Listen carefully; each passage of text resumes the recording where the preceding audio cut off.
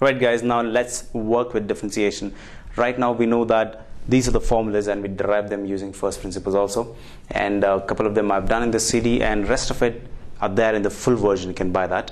Now, before I start, a couple of things to know, very important. Differentiation is all about knowing these many formulas. All right. Then what is the difficult part of differentiation? Look at this.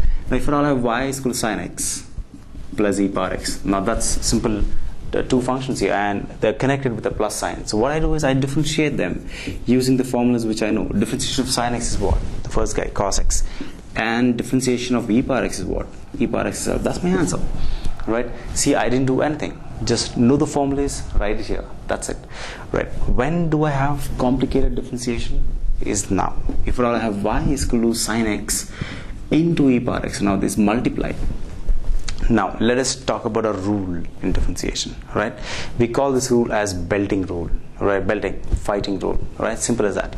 Now the rule says i can belt or i can fight with only one person or in this case i can differentiate only one function.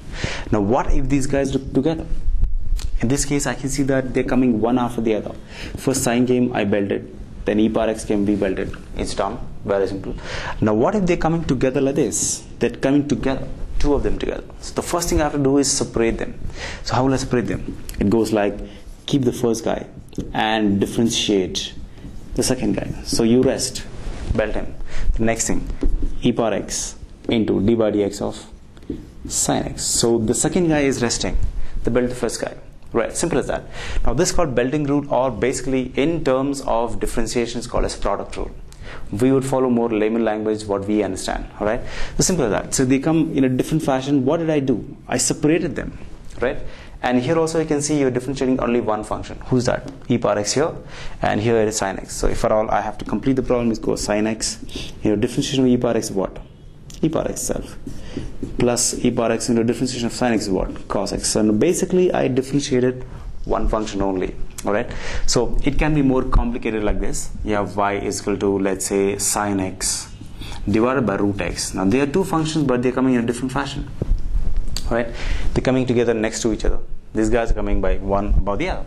Now can i belt them the same way? No. The belting rule is a little different. It's called as quotient rule here.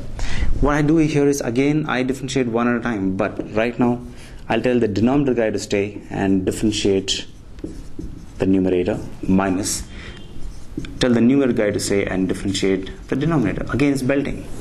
Divided by root x the whole square. Now, this is a different style of fighting. That's it.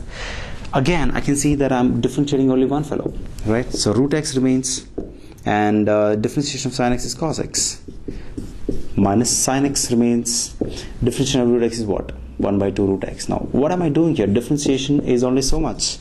And the rest of it is how do I separate the given functions and, and get them alone so that I can differentiate them. That's all about it. This is what is called learning differentiation. I just give an example. We'll go step by step. Now we'll see how to differentiate simple problems and in the next videos and in the next section I will guide you how to learn differentiation of complicated problems alright so we have chain rule coming up and we have all the mixed things coming up like product chain and quotient rule together this we'll learn later.